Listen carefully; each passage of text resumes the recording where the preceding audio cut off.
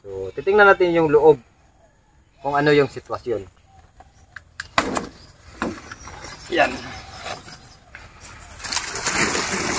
So ngayon, so obserba. So base pag-aralan natin.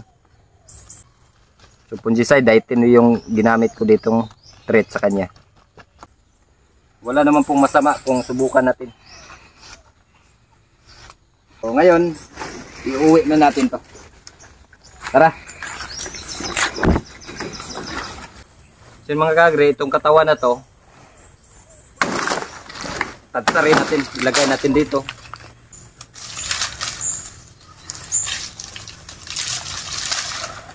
Sa pamamagitan ng ganitong paraan kasi mga kaagre, nakokontrol mo siya. Ibig sabihin, ah, nagawang mong ibagal yung pagdami ng ah, sakit na to. So ayun, magandang magandang hapon mga kaagre. So ayun mga kaagre, ito na yung ating lakatan mga kaagre. So, masamang balita mga kaagre, halika, tingnan natin. Itong puno na ito mga kaagre, kalaki na. Pero may napapansin tayong hindi kaaya-aya. So kailangan natin siyang i-sacrifice talaga na kukunin. Puputulin so nakakapanghinayang. Pansin mo dito mga kaagre, ito yung ating lakatan na uh, macro propagation yung uh, tinadtad natin. Ginawa natin din. So ngayon, kita mo dami ng subwal.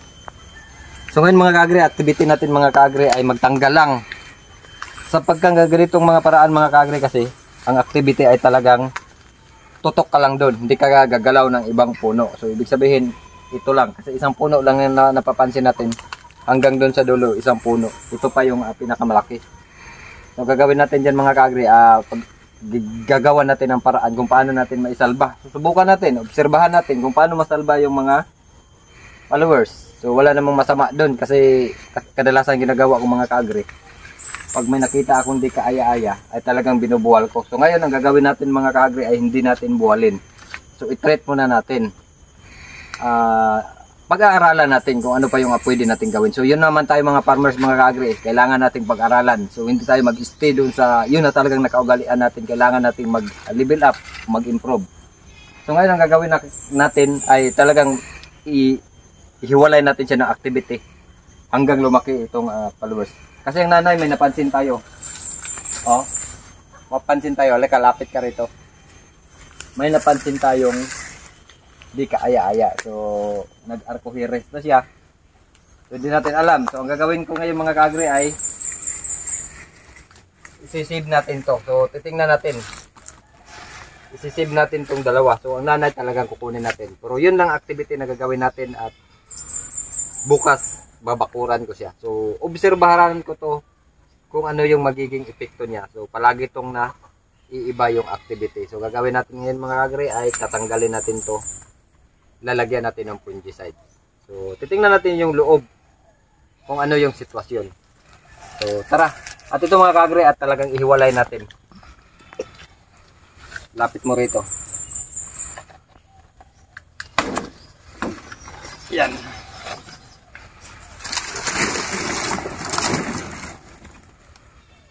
Ayan o. Gagawin natin dito mga kagre ay talagang ilayo natin to.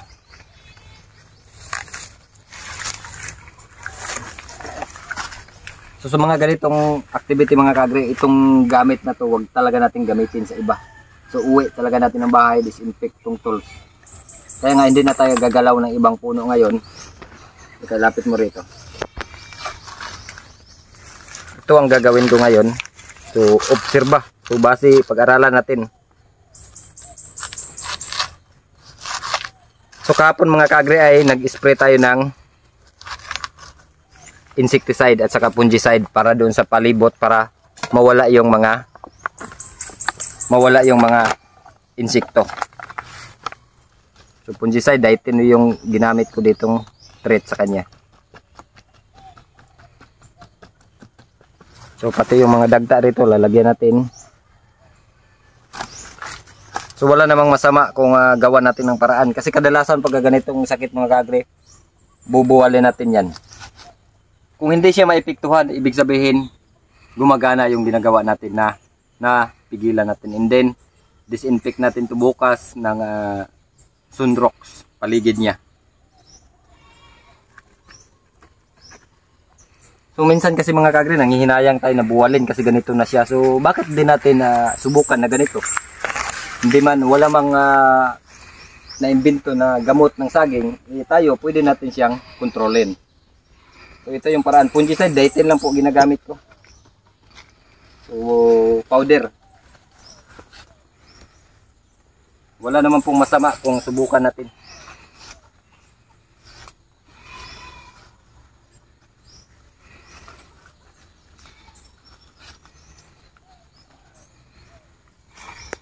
Yan. Busin ko na to.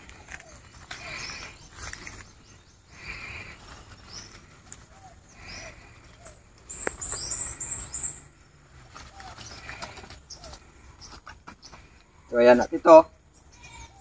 Tools. Iuwi na natin. Tapos disinfect natin sa bahay. Huwag tayong gagamit. Huwag na natin gamitin sa iba. So ito, ilayo natin to. Ang importante lang mga bago mo gawin tong activity na to, mag-spray ka muna sa buong ah, plantation mo. So, ngayon, iuwi na natin to. Tara!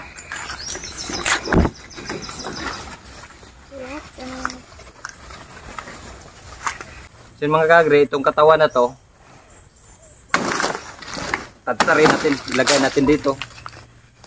Kung hindi naman ganun kadami yung damage, Kung ganito lang pa isa-isang puno, so ganito ang magandang gawin sa pag-control.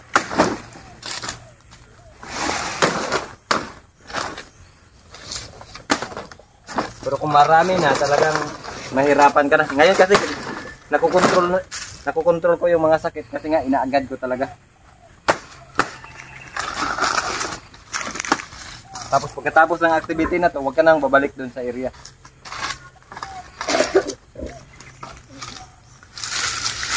Susunugin natin.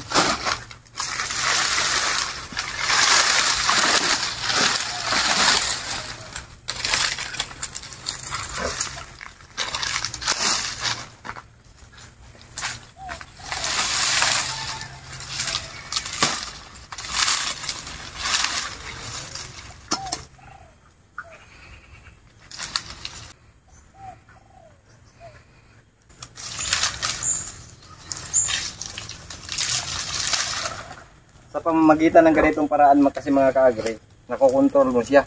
So, ibig sabihin, ah, nagawang mong ibagal yung pagdami ng ah, sakit na to. Kasi nga, trans- ah, transmitted to eh. Maaari siyang matransmit. Kagaya ng mga insekto na nadadapo doon tapos lilipat doon sa ibang puno. So pagka ganito talaga na wala tayong makikita na, pag may nakita tayo isang puno, dalawang puno, talagang treat pa agad natin. Kasi ang ano kasi pagka mabilis siyang lumala, pagka yung hinayaan mo lang siya na ganun. So kaya yun ang ginagawa natin. So ito yung uh, panlunas lalo lalo na dito sa Mindanao na talamak sa mga sakit ng saging ng lakatan. So kailangan mo talagang ah, masubaybayan yung, yung mga saging para makasurvive. Kasi malapit na tayo, malapit na yung magbunga.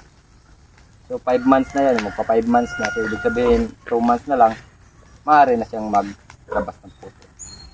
So yun. At maraming maraming salamat mga kagad. Eh, may nagawa na naman tayo ngayong araw na to. So, napigilan natin ang pagbilis ng pagdami ng sakit. Magandang araw. Mabuhay po tayong mga farmers.